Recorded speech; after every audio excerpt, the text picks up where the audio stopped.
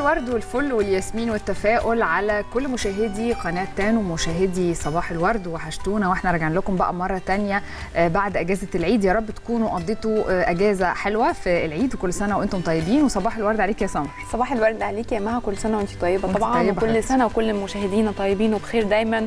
صباح الورد على كل اللي بيتابعونا في كل مكان. يا رب يومكم يبقى جميل كده زيكم.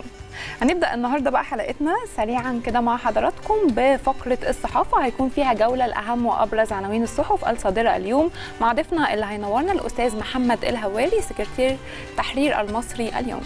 بعد كده هتكون معانا فقرة عن مؤتمر القيادة من أجل السلام واللي بيهدف لتسليط الضوء على رؤية مصر نحو توفير مستقبل أفضل وتنمية مهارات القيادة وصناعة القرار. ضيوفنا للفقرة دي أستاذ محمود صبحي مدير مشروع القيادة من أجل السلام والأستاذة شروق علي مديرة مشروع القيادة من أجل السلام.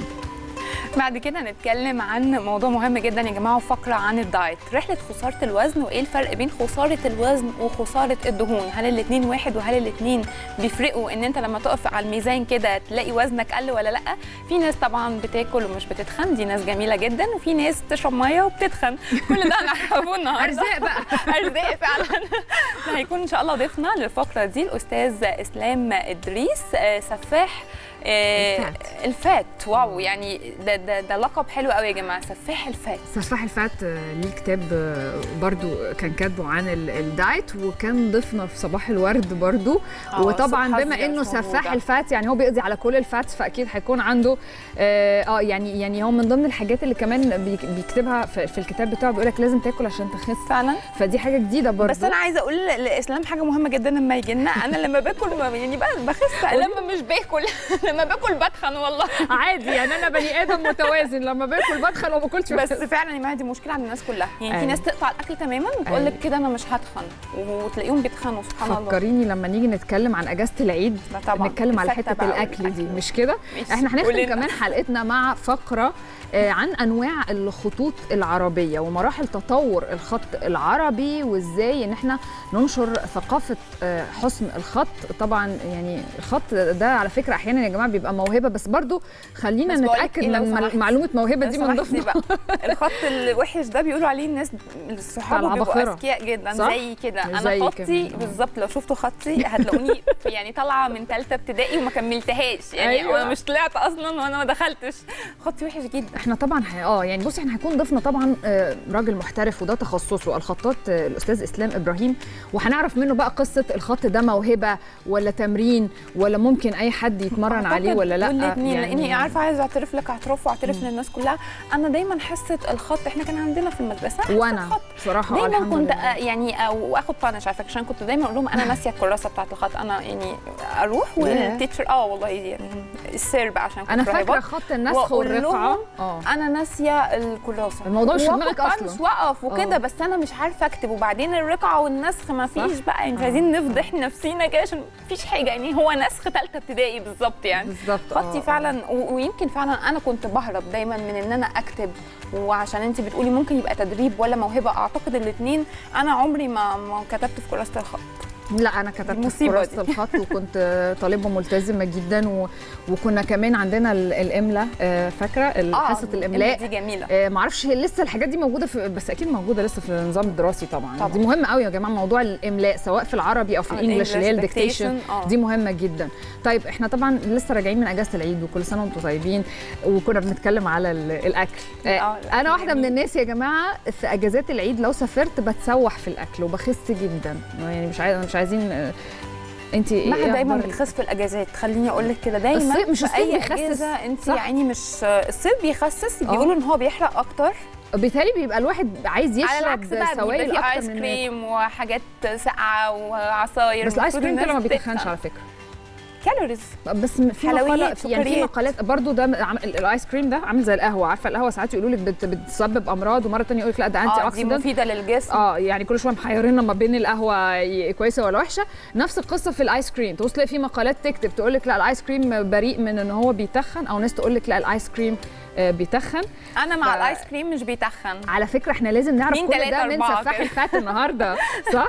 يا جماعة يعني في البداية بقى أنا عايزة بس أقول لسمر ال new look بتاعك حلو حلو قوي والشعر الطويل عليها حلو قوي هي راجعة لنا بقى بعد الأجازة أيوة. ب look حلو لازم يا. جماعة الواحد كده يجدد لازم يغ... يعني بحب أنا الموضوع إن أنا ما اقعدش على حاجة والحاجة الوحيدة اللي بعرف أجدد فيها الصراحة هي شعري مش هجيب وش أركبه الحاجة الوحيدة اللي بعرف أعمل فيها look جديد بحب أنا التغيير عموما مش بحب أقف عند طبعاً. شكل الفترة خلينا بقى نرجع لموضوع مهم. أيوه. سيبكم من ال look بقى ده عيد وكلنا عيدنا وكلنا عملنا حاجات حلوة كتير. ومها بقى سافرت. في ناس قعدت في البيت زي كده هم الحاجة الوحيدة اللي عملوها راحوا للكوافير. بس عايزين أقول لكم حاجة جم... جميلة قوي يا جماعة. الشوارع كانت فاضية وجميله وهادية. أي نعم كانت يعني مظلمة لأن معظم الناس إجازة واخدة بقى المحلات قافلة وكده. بس فعلا في ناس قضت أجازتها. نوم وبيت وفعلا ال- الكوميكس بتاعت آه، أنا خرجت من الصالة رحت لحد البلكونة ورحت دخلت مشيت في الطرقة شوية في ناس طبعا سافرت. أعتقد الاثنين اتبسطوا وكل واحد بي بيعيش ال الوقت الفراغ اللي عنده بالطريقة اللي هو يحبها. بس أنا ما أعرفش ليه امبارح بالليل آه يعني أنا رجعت من السفر امبارح بالليل لا الشوارع كانت زحمة قوي ما هو يمكن عشان امبارح بالليل كل الناس رجعت. آه ده عشان الناس راجعة الناس بقى يعني مش أنا بس اللي. راجعة من لا، أنا قلت بقى. يمكن الناس بقى هترجع من السبت لأن جمعة وسبت أجازة فقلت يمكن الناس ترجع بقى النهارده الزحمة بس هي واضح إن هي بادية من امبارح يعني مش أنا بس اللي كنت راجعة عشان عندي شغل ال- والناس النهاردة. اللي زينا عندهم شغل السبت فهم رجعوا امبارح فطبعا. الحمد لله على السلامة بس عايزين نقول لكم بقى يعني هل فعلا وده يمكن إحنا كنا لسه بنتكلم فيه من فترة هل العيد اختلف يا جماعة يعني هل أجازة العيد وتقضية وقت العيد والأجازات والفرحة والحاجات دي اختلفت عن زمان اختلفت عن زمان آه، من وجهة نظري أنا التنوع. يعني بقى في ثقافه يعني زي مثلا كان في الأماكن بتاعت الخروج بتاعت ال- بالليل ما كانتش بالكثرة اللي موجودة دلوقتي, دلوقتي. أو بال style اللي موجود دلوقتي. زمان مثلا الناس كانت تقعد آه، في كازينو كده اللي هي اللي هي زي الكافيه دلوقتي.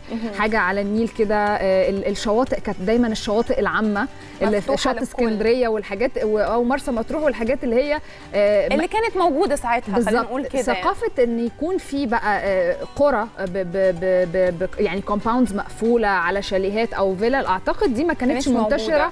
زي دلوقتي دلوقتي بقى عندنا بقى الساحل الشمالي وبنشوف بنشوف قرى كتير ويعني بقت بس ده دي حاجة أنا شايفاها حاجة صحية دي حاجة لأنه حلوة في تنوع وفي يعني إحنا بنواكب العصر خلينا نقول برضه إن إحنا إحنا. خلاص في في تقدم في حاجات وأذواق. مختلفة في أجيال جديدة. اتولدت يعني هي مش هتعجبها الحاجات اللي فاتت دي. فأذواق فعلا مختلفة بالظبط في ناس ده تحب ده. تروح البحر الأحمر في ناس تحب أكتر تروح ناحية مثلا آه، الغردقة وفي ناس تحب تروح ناحية الساحل الشمالي. أكتر يعني المهم إنه في الآخر أنت عندك كل حاجة صح عندك آه، تنوع تقدر آه، تتق- بالظبط. يعني تقضي فيه فترة أجازتك آه، بطريقة صحية وبطريقة حلوة وبطريقة سعيدة مع عيلتك تتبسطوا لأن الأجازة ما بتتكررش كتير وأعتقد كان أسبوع بحاله يعني الأجازة دي كانت أجازة حلوة للناس. بس طبعا في حاجة على الفيسبوك في الحقيقة من الحاجات اللي هي السلبية وبجمله برضو اللي هو التمرد وال- والشكوى وثقافة الشكوى. الناس عمالة برضو مش عاجبها الساحل والناس في الساحل آه، شفت واتيتيود. الناس في الساحل. يا جماعة خلينا نعود نفسنا بس إحنا مش قاعدين يعني مش لازم الناس تمشي على. مزاج كل واحد. آه بالظبط. يعني أنا في ناس ممكن تكون مختلفة عني بتنبسط بطريقة مختلفة عني. مش معنى إن طريقتهم مش عاجباني إن هم يبقى وحشين. غلط صح. يعني ما يعني ال- أنا مش فاهمة إيه الانتقاد ال- ال- اللاذع آه، لكل واحد بيقضي. ما دام أنا بتبسط بشكل ما بيتخطاش حدود حدودي، معينة، آه أو أو. ما بيدخلش في نطاق ال- الخصوصية بتاعك أنت مش من حقك خالص تقعد تنتقد الناس هو وإيه ده كمان أنا عندي يعني وبقوا fake قوي ومش fake يعني قوي اللي مش عاجبه يعني, يعني- لو الناس اللي كتبت كده أو بتقول كده هم. ناس كانوا already هناك فلو مش عاجبك ممكن تمشي ممكن تغير مكان تروح مكان هادي خلاص وأنت ما تروحش آه مش عاجبك. الساحل ما تروحش الساحل آه، بس مش معنى كده إن الناس هناك أنت وحشة بقى ما روحتش أصلا وبتنتقد بس مجرد إن أنت شفت صورة أو كده فأعتقد ده ملهوش حق خالص يعني ما ينفعش أنتقد حاجة أنا ما كنتش جواها. يعني مش مجرد إن أنا شفت صورة أو سمعت صحابي بيقولوا لي الدنيا زحمة أو أو أنا مالي. ما ما خليني في حالي والله العظيم هنرتاح. يعني لو كل واحد فضل في حاله وما بصش على الحد التاني هنرتاح هنمشي كويس وشوف نفسك. أنت إيه اللي بيريحك؟ زي ما أنت بتقولي يا ما والله أنا بحب الأماكن الهادية. أنا واحدة بحب الأماكن الهادية. ده فعلا. ما ب- ما. بحبش أنزل بحب في الهدوء. ما بخرجش بالظبط. في الاعياد بالظبط. بتبقى زحمة يعني آه. الناس اللي مسافرة كلها مسافرة بس على الناحية الثانية كل الناس بتخرج فأنا ما بقدرش أتكيف في مكان صح. فيه زحمة حواليا وفي ناس بالظبط أنا زيك. بالظبط في ناس برضو بتحب العكس بتحب اللمة الزحمة والزحمة وتتعرف على والميوزك ناس العالية وكده دي طبيعة طبيعة يعني دي طبيعة آه، بشرية وفروق فردية يا ريت يا جماعة نتقبل بعضنا وما نقعدش نجلد ذاتنا ومصر فيها حاجات كتير حلوة يعني خلينا يعني بالعكس يعني يعني الناس عمالة تنتقد وتقول لك عشوائية الب- البناء ومش يعني بناء عشوائية بناء إيه؟ يعني ليه ما بنبصش على الجانب المشرق؟ يا جماعة في ناس تعبت في المشاريع دي على فكرة واشتغلت في المشاريع دي والدولة صرفت فلوس كتير قوي علشان تبني المشاريع اللي على طريق الساحل ده على يعني لا يعني خلينا كده شوية ما نقعدش كل حاجة معمولة نقعد نحط عليها. صح؟ خلينا نبص لنص الكوباية. المليان دايما زي ما بنقول. نحاول نبقى عندنا نظرة تفاؤل نظرة إيجابية. خلينا نشوفها من ناحية التنوع. حد هتأثر عليه هو أنت كشخصك. يعني أنت أكتر حد هيجيله طاقة إيجابية. كل ما أنت بتشوف كل حاجة إيجابية وكل ما أنت بتقتنع فعلا إن في حاجة حلوة هيحصل حاجة حلوة. صحيح. خلونا بقى نشوف دلوقتي الشوارع عاملة إيه مع تطبيق بيقول لك الحصري. طبعا أنا كنت جاية الصبح يا جماعة الشوارع فاضيه وجميلة جدا. وتطبيق بيقول لك ده حصري طبعا لقناة تان وبرنامج صباح. الورد. تبدأ لنا يا مها بايه بكوبري أكتوبر؟ كوبري أكتوبر هنشوفه مع بعض دلوقتي زي ما حضراتكم شايفين من مدينه كوبري أكتوبر لمدينة نصر للمهندسين مش بطال. إحنا لسه على كوبري أكتوبر لكن من المهندسين لمدينة نصر آه كويس. كوبري 15 مايو من المهندسين لوسط البلد بيتحرك. وكوبري 15 مايو من وسط البلد للمهندسين كويس. صلاح سالم من المطار للكورنيش مش بطال. وبيقول لك صلاح سالم من الكورنيش للمطار مش بطال. المحور من الشيخ زايد للمهندسين شغال. وأخيرا اللي ما بتحبها أيوة. المحور من المهندسين لزايد ماشي أيوه مركزة أكتر مني أيوة. أنا كنت قاعدة أقول لها أنت جبتي أخيرا دي منين تقول لي ما هو طبيعي إحنا رحنا. وجينا رحنا وجينا آخر طريق عندنا خلاص طيب يعني إحنا شفنا أخبار الشوارع وما بتقول أنا كنت جاية والطريق حلو قوي أنا كنت آه. عايزه أقول لها إن بصراحة الأسبوع كله من السبت اللي فات للسبت ده. الطريق كله كان جميل والقاهرة كانت فاضية وجميلة خلينا دلوقتي نروح نشوف أهم الأحداث والفعاليات على مدار القاهرة آه، طبعا وبعض المحافظات. وهنشوف بعد كده أسعار الذهب والعملات وكمان الفاكهة والخضار وبنختم بدرجات الحرارة وتمارين الزومبا. وبعد كده فاصل وقراءة في عناوين صحف النهارده. استنونا.